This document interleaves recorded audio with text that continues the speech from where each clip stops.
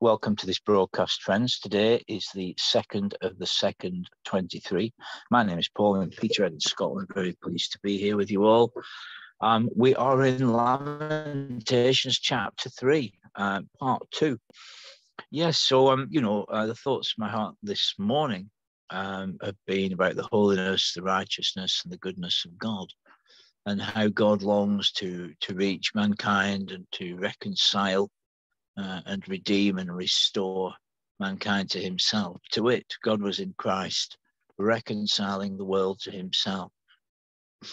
You know, friends, to be a successful believer in Christ Jesus, uh, it involves acceptance of the will of God, um, acceptance of what pertains at the present time.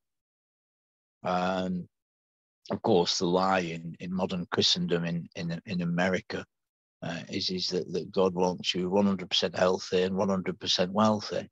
Well, that's just not the case. That's not the reality. Of course, God is not necessarily against anyone being uh, healthy and wealthy, on the contrary, um, but not everyone.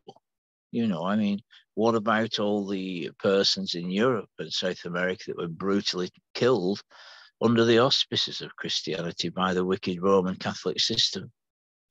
Uh, what about the followers of the Lord Jesus Christ uh, in Israel um, in, in the first century?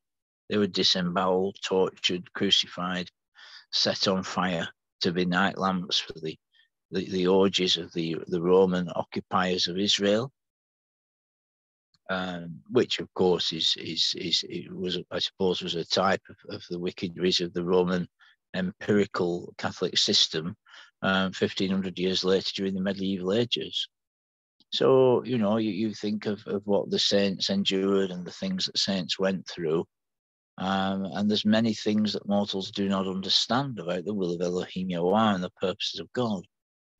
Um, I mean, truly, truly, true wealth is love, grace, power, and strength to to lead a, a soul prosperous life uh, a life of blessing and love and service to others. That's true wealth. Um, you see, so I mean, uh, what is the purpose of cash other than to buy clothing, warmth, shelter, and food? Uh, you know, uh, and as as I as I leave this message just now, or as I broadcast this message, um, many men are obsessed with gain. You know, um, and yet they never gain Christ Jesus. But to gain Christ is to count all the things lost, the excellency of the knowledge of the Son of God. So my thoughts are many, I suppose, but I was thinking, um, you know, about the goodness of God leading men to repentance, a change of mind, a change of heart, a change of direction. And, and in case I have any tender listeners that, that would consider themselves Catholics, I'm speaking of the system of popery uh, that's responsible for terrible atrocities, principally during the Inquisitions, which thing the, uh, the, Pope, the Popish system of Rome has never repented or never publicly apologized for, not that they could.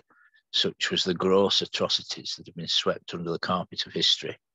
Um, and of course, the uh, the persons that run the empirical system uh, of tyranny, for, of superstition and idolatry um, over there in, in the Vatican, they, they hope that these things won't come to light.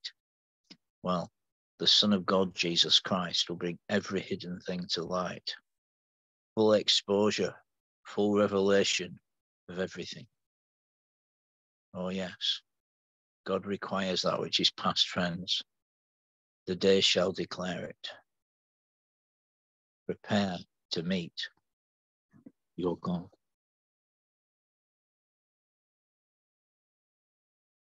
Of course, there are millions of persons that uh, that follow systems such as uh, Mohammedanism or Catholicism or, or the Mormon systems, all these systems of men um, and they they are very strong that they follow that belief system, and they proclaim and announce that instead of the Lord Jesus Christ, the Son of God. That's the problem. I was talking with a man last week, and within a few short minutes, it became clear that his message was the Watchtower organization. His message was the system of the Jehovah's Witnesses. It wasn't Christ Jesus crucified, buried, risen, ascended, ruling and reigning imminently.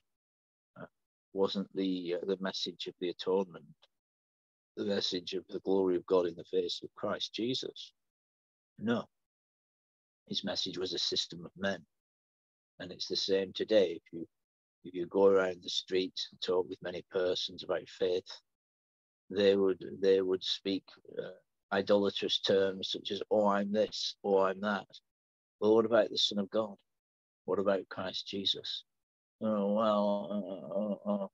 you see, these these are persons that are confused. You see, um, and and God is gracious. You see, God is gracious to all friends. Otherwise, persons would be dead. Uh, but the truth is, many mortals are deceived and deluded by terms uh, they pledge their allegiance to different uh, organizations and belief systems, whilst not having any true connection morally, responsibly with the Son of God. We think of the days we live in, the person say, "Oh, I'm this" or "I'm that." It's all meaningless. You know, the Creator is not religious, friends. There is one Maker, and that which is me.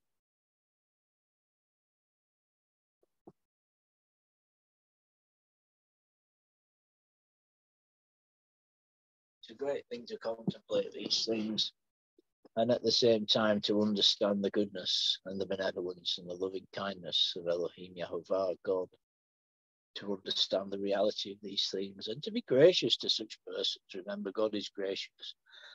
such persons are deceived and bedeviled and deluded. Uh, it's the human condition, you see. Um, we, we also have the Cornelius in the book of Acts. Now, Cornelius, it says, uh, well, I suppose we could turn to it. It's an interesting uh, discourse on the topic of, uh, of God's grace and wisdom concerning all, um, um, regardless of the exactitudes uh, of, of their profession of faith. So here's Cornelius in Acts chapter 10. He was a centurion you see. So he's a Roman centurion, probably a very rough, tough kind of man. But it says he was pious, and he and his whole household feared God. And when they were very kind to mankind. They gave much alms to the people, and they supplicated God continually. So, quite a man, this Cornelius. No doubt a wealthy, influential uh, man, and a, probably a very physical man. Um, and he was godly and he feared God with all his household. He was very kind, a man of great prayer, stayed in prayer continually, and he saw a vision. Uh, and an angel of God came to him and actually addressed him by name, Cornelius.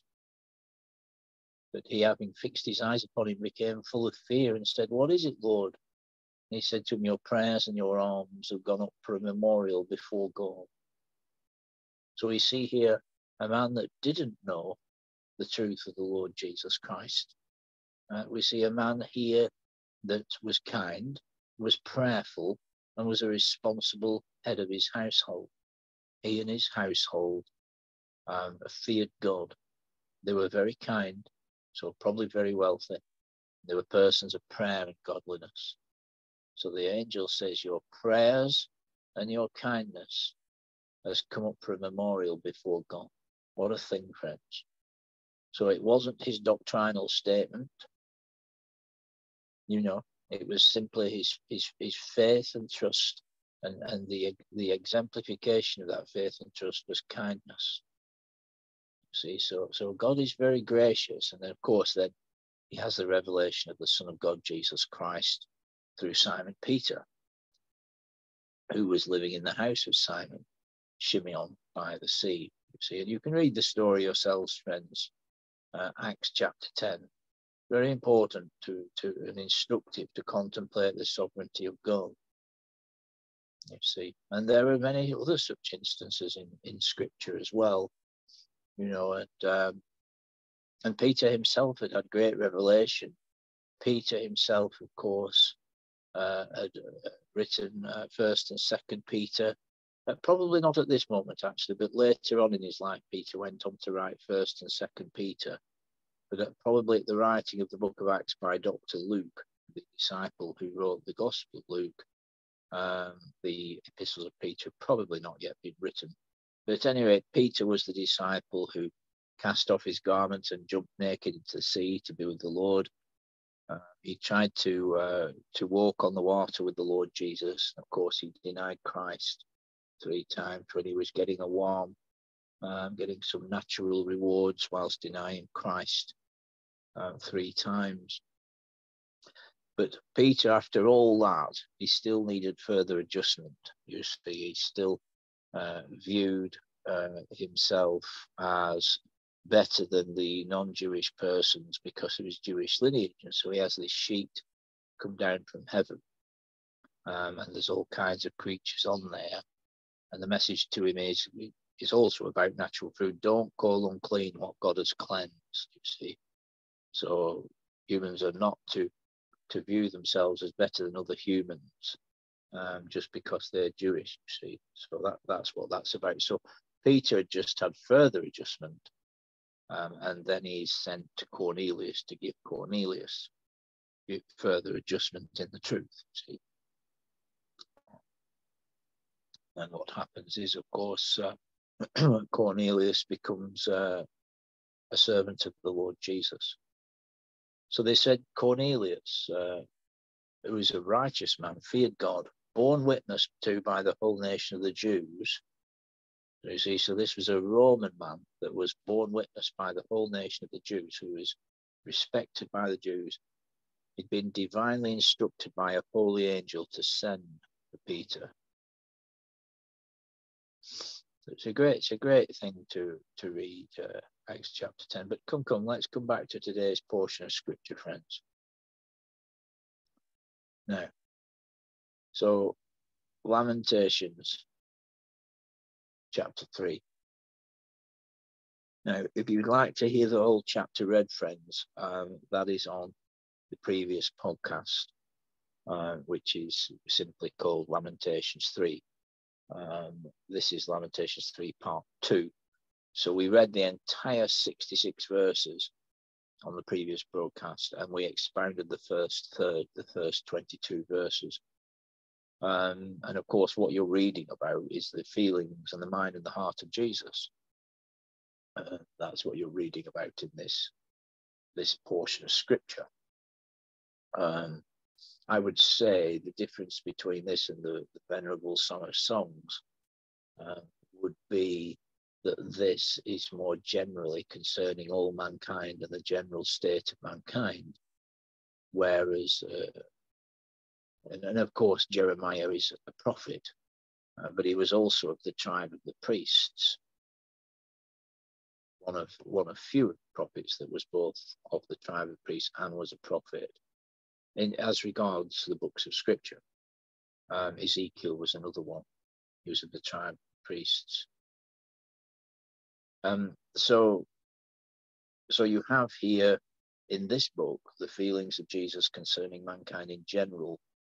Uh, in the Song of Songs, it's the feelings of Jesus concerning his wife, his redeemed, his bride, his church, his congregation. And of course, um, Solomon, who wrote most of the Proverbs and the uh, Ecclesiastes and the Song of Songs, sometimes called Canticles, he is the type of the Lord Jesus Christ in resurrection, in ascension, and in sovereign dominical rule over all things. Whereas the great King David is he, re, he would represent Christ before the cross. He would very much represent the Lord Jesus greatly, but he was not allowed to build a house of Elohim Yahovah because he had so much blood on his hands. These persons we read about in Scripture were very, very physical men you wouldn't have messed around with, with David or Solomon. You know, the, these men, or, or indeed Cornelius, these men were men's men, you know. Uh, and, and of course, uh, it's the most wonderful thing to think of God's dealings with these persons in that their tenderness and their benevolence and their compassion and their goodness shone through in the Psalms and the Proverbs and the Song of Songs. Now, this brings us to chapter 3 of Lamentations. So we we ended actually 22, 23. I shall read uh, Lamentations 3, 22. It is of Yahweh's loving kindness that we are not consumed, because his compassions fail not. They are new every morning. Great is thy faithfulness. The Lord Yahweh is my portion, says my soul, therefore I will hope in him. Yahweh is good to those that wait for him, to the soul that seeketh him. It is good that one should both wait, and that in silence for the salvation of Yahovah. Now, I would very much like my listeners to, to learn a, just a few words of Hebrew. Uh, and I suppose the most important one is the word Jesus, which is Yeshua. There are other de- derivatives Yahshua, Yahushua, Yehoshua, Yahusha, but Yeshua will suffice. And, and that is the, the Hebrew word for Jesus, Yeshua. So it sounds like Joshua. So it's the same word, Joshua. Um, but it, there was no J back then, it was a Y, you see. So we say Joshua. It sounds like Joshua, Joshua. Very little difference. But the J only came into usage in the Middle Ages, you see, in the middle Europe. Um, but at any rate, it's Yeshua. So in verse 26, when we read, it is good that one should both wait, and that in silence, for the Yeshua Hayawah. See this verse here, friends. So that word for salvation, nine times out of ten, when you see the word salvation, in what we call the Old Testament, it is the word Yeshua. And that means Jesus. Jesus is your salvation. And Jesus is Yeshua, Yeshua HaMashiach, Jesus the Messiah. See? So Yeshua is the Hebrew name of Jesus. See? Jesus is a really a, Italian uh, Latin uh, word. Isu, Isus, Jesus, Isu, Yesu, Isu. See, so but, but in Hebrew, Yeshua. So when you read here, it's good that one should both wait and that in silence for the Yeshua of Yahweh. It literally means that mankind should wait in silence for the Jesus of the Lord. That's literally what it says. You should wait in silence for the Jesus of Yahovah. That's literally what it says, the Yeshua Yahweh and once reminded of one of my favorite verses of scripture um, stand still and see the Yeshua Yahweh. Stand still and see the salvation of the Lord. See? Well, that's literally stand still and see the Jesus of the Lord. That's literally what the verse means. So, to a Hebrew believer, when they read these verses, you see, that's what they read. Wait in silence for the Yeshua HaYahweh. Yeshua HaYahweh. The Jesus of the Lord. It's a great thing to think of. So this is the uh, the feelings of the Son of God, you see, declaring that it's good for mankind to wait in silence for the deliverance, the mercy, the salvation of the Lord, the Jesus of God.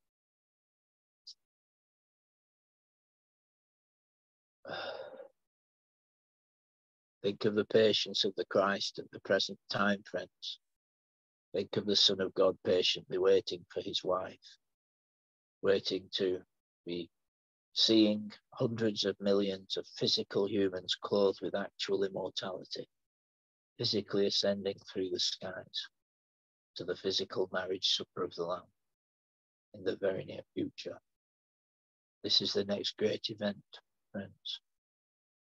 Not a new car, a new sexual liaison, or another bout of drunkenness, or a new couch, or a new car, or a new house.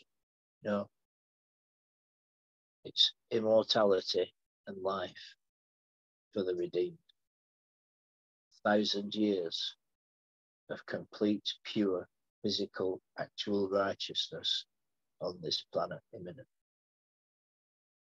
The cessation of the rule of mortals, the cessation of the rule of devils, and the beginning of righteousness, holiness, faithfulness, truth, for a thousand years, during which time all the doomed, deluded, ruined, vile, defiles will be chained and cast into the pitch darkness of the bottomless abyss.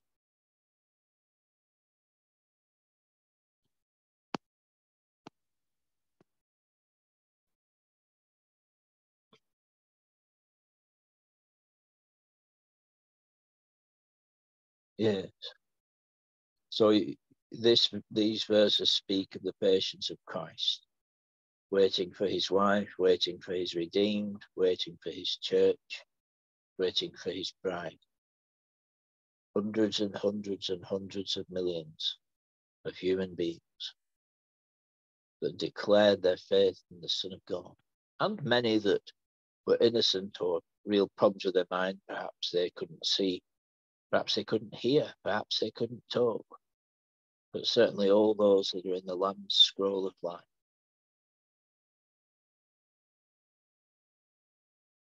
So you, you think of you think of Christ patiently waiting to receive hundreds of millions of persons. You think of the church throughout the history of the planet.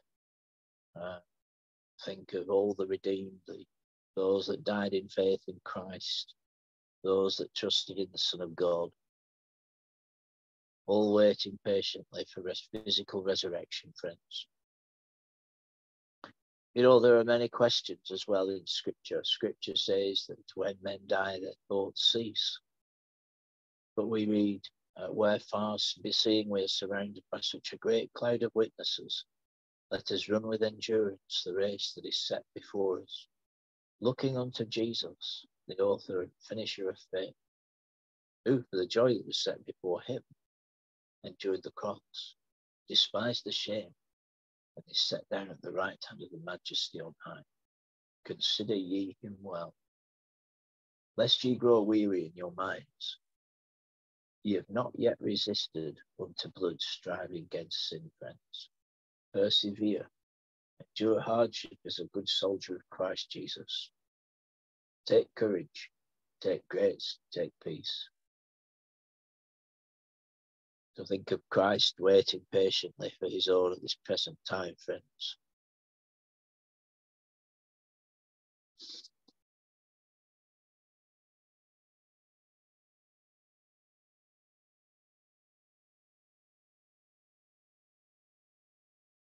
For he doth not willingly afflict or grieve the children of men to crush underfoot all the prisoners of the earth, to turn aside the right of a man before the face of El Elyon, the Most High. To wrong a man in his cause, will not Adonai see it? Who is he that says, and there comes to pass, what the Lord has not commanded? So one thinks of, uh, again, uh, I know I mentioned some of these verses in the previous broadcast, but it's a very good thing, friends, to memorize portions of scripture. Uh, thy word have I hid in my heart that I might not sin against thee. Uh, it's a very good thing to contemplate divine truth, to meditate on the truth of El Elyon Yahovah Elohim. A very great thing, friends. um, I think of uh, the Son of God in death, uh, put into the tomb, but even in death, preaching the good news of salvation and peace and pardon and power to departed human beings. I know it doesn't fit in with traditional Christian doctrine. It's absolutely true. You can read it in, in, in the epistles of Peter, friends. Jesus Christ preached to persons that had died in the time of the flood, and the time of Noah. And he preached to them the gospel of reconciliation, of redemption, of eternal life. And they exercised faith and trust, faith and trust in the Son of God. the Bible says that though they were judged in the flesh, they were justified in the spirit. It's a great portion of scripture to contemplate, friends. The tender mercies, the loving kindnesses of Elohim Yahovah, the bigger picture. Here we read of the heart of God. God doesn't willingly afflict or grieve the children of men. We think of the righteousness and the holiness of God, the perfections of the God of Jacob. We think of the tender mercies of God. We think of the divine nature. Think of the heart and the mind and the purposes of Elohim Yahuwah. We think of righteous indignation. A man said to me the other week, there's a, a topic of how we was discussing the topic of how persons get angry and that not all anger is wrong because some anger is righteous indignation. I mean, I personally, if I see someone littering, I thoroughly dislike littering. I really do. You know, I, a long, well, a long time ago, I got him to, well, I didn't, I suppose I corrected him out for throwing a fish and chip cod out of his car. And he was very angry. Very angry. But I'm glad I did it, you know. And, uh, I just hate littering. I really do. Uh, and of course, uh, the devil is the vagrant. He's just a vagrant.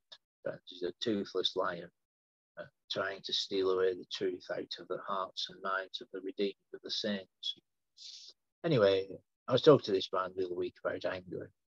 Some anger is righteous indignation. If you went down the street and you you saw a man beating his partner, beating his girlfriend or wife, you the fact you'd be angry about it is not unrighteous. The man isn't righteous, and you'd have righteous indignation. See, and so the wrath of God, the the feelings of God are all righteous. You see, Yahovah is righteous.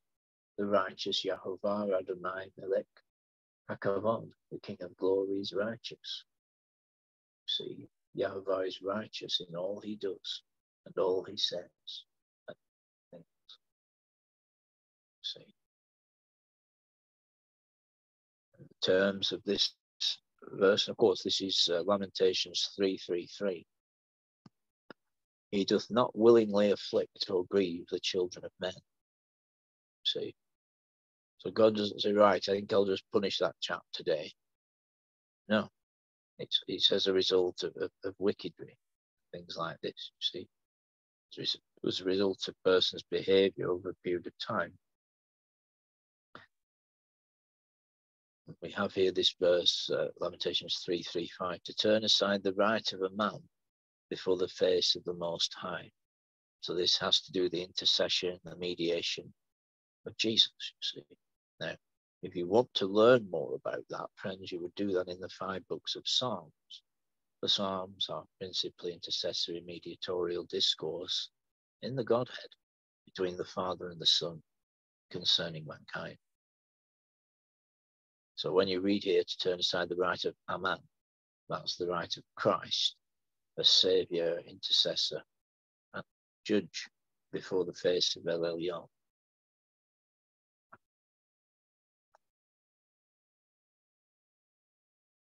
Of course. Great thing to think of Christ Jesus as judge. The judge of the whole the Lord and Saviour, and judge of all mankind. Creator, Redeemer, Saviour, Lord, Judge, King, Most High, and the Sovereign of all flesh. Who is he that says, and there comes to pass what Adonai has not commanded? was Lamentations 337. So, so who is he that speaks and then it happens without the Lord commanding it first? Out of the mouth of El Elyon doth there not proceed evil and good? Very interesting verse, friends. And you don't quite get that verse quite like that anywhere else in Scripture. It's unique. Out of the mouth of El Elyon, the Most High, doth there not proceed evil and good? Of course, we read in uh, James that out of the mouth of a believer there shouldn't come forth evil and good. A fountain that would produce dirty water and clean water wouldn't be of much use. You wouldn't be sure what you would get. It's a very interesting verse. But the righteous indignation of Jehovah Elohim, the righteous indignation of God, um, the results thereof for mortals could be construed as evil when actually it's the righteous judgments of the Creator. So, so that's what's meant there. Why does a living man complain a man for the punishment of his sins?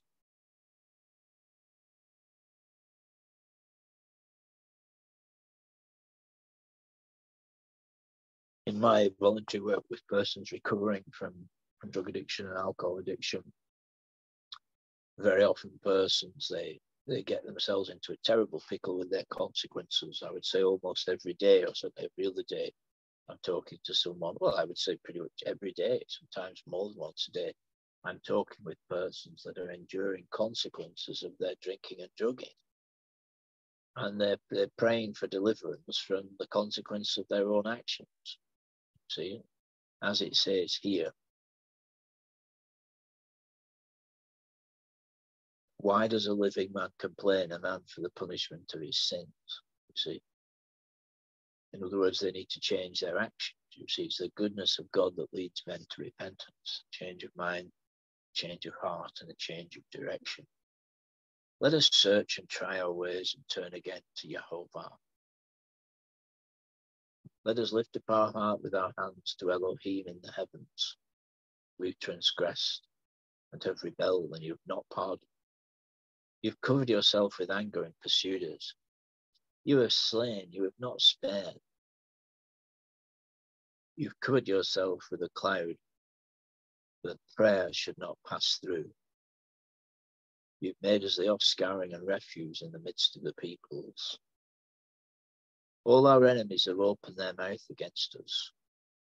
Fear and the pit have come upon us, devastation and ruin.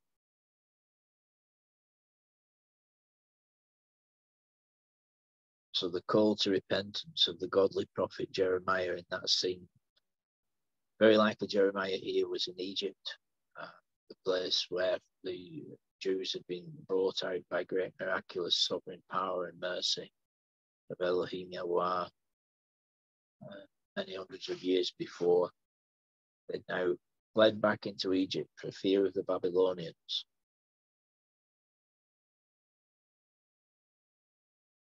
So the call to repentance, the call to obedience, the call to righteousness, call to prayer and intercession.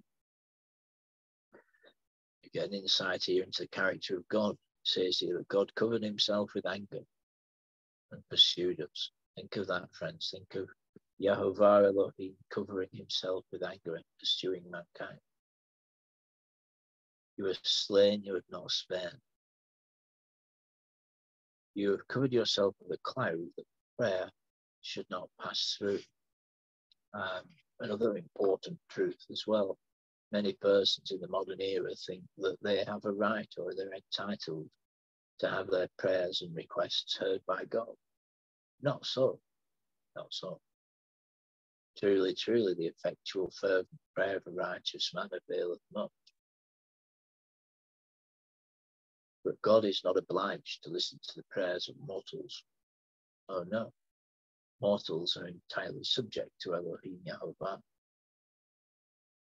All flesh is entirely subject.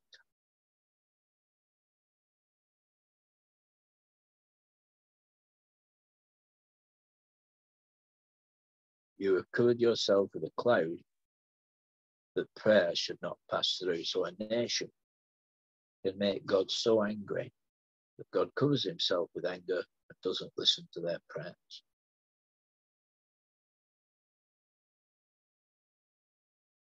But of course, uh, the, the, you see, this is the thing, you see, and the cessation of the monarchical, theocratic uh, rule of Israel, rule of Elohim through Israel, uh,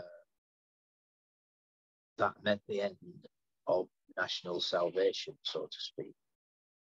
You see, from that point on till today, there isn't a nation on this planet that could be described as being a true theocracy, a true theocratic monarchy. See, you couldn't really say that. Well, well, I suppose you could say it about the saints, the redeemed, the Lamb's wife, the holy nation, the body of Christ. You could you could say it in those terms carefully. Careful with what I say friends, because there are groups, particularly in America, that teach false things, such as kingdom now and the seven is it the seven mountain theory and other preposterous, erroneous twistings of scripture, false doctrines. But in truth, Elohim Yehovah, through his son Yeshua, through his wife, the congregation, the church, rules the whole planet at the present time. That is the truth. The influence of the Lamb's wife is what dictates most of the actions of the United States government. And God, through the United States government, physically rules the planet. Uh, and that's the truth, you see, and that's the safety and preservation and well being of Israel at the present time. But in no way could you state that uh, the United States government is a theocratic monarchy in the same way that Israel was uh, 3,000 years ago. So you, you couldn't truly say that. This is my point. So the cessation of Yisrael, as a nation um, 2,600 years ago, which is what we're reading here, that meant the end. Of, well, of, of, course, Israel was regathered uh, seven or eight decades after uh, after the Babylonian captivity and became a nation again. They rebuilt the temple again. But we we really see here uh, it, it, all it's all an approach to the death of Christ. The, the, what Jeremiah endured in very prolific um, and prolonged ministry. to all the time sufferings of Christ. You see. And of course, uh, they all led to, to the finished work of the Son of God on the cross in death. Uh, then uh, uh, everything out of the tomb in Christ that will endure eternally. And the only thing that's left for those that don't believe in Jesus is the filthy rags of their own wickedness. Um, even their righteousness are as filthy rags. In other words, culpability for the holy beard of Christ being ripped out, his face all bashed in, his back like a ploughed field, responsibility for the sufferings of Jesus Christ. That's all that's left for those that don't have faith and trust in the Son of God.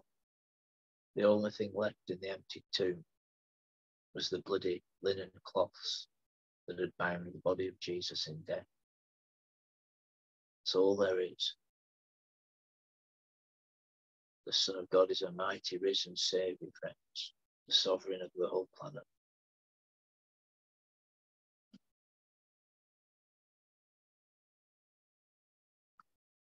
The wrath of God is upon those that do not believe.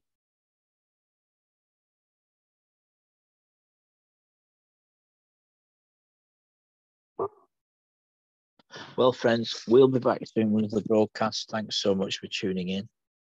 Um, rejoice in the truth, walk in the light, stay under the blood, uh, and the tender mercies, the goodnesses, the loving kindness of Yahweh Elohim will sustain thee in thy circumstances. Until next time, Baruch Ava Hashem Adonai Yahweh Elohim, the sovereign of the whole universe.